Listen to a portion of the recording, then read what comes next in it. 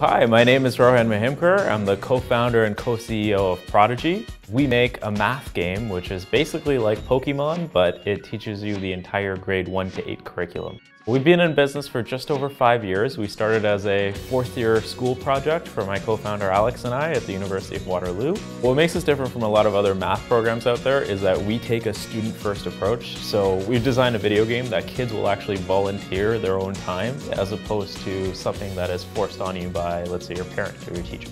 Currently, we have about 80% of all kids in Ontario between the ages of 5 and 13. In the next year, we're hoping to have basically all students in Canada and the United States. That'll really allow us to have an enormous impact on all of those kids and essentially help an entire generation to learn math and to not be afraid of math anymore. We also have an entire team of people, about 65 people right now, who are incredibly passionate about our mission to help all kids around the world to learn math without paying a single penny. The culture we created around that is something we're really proud of.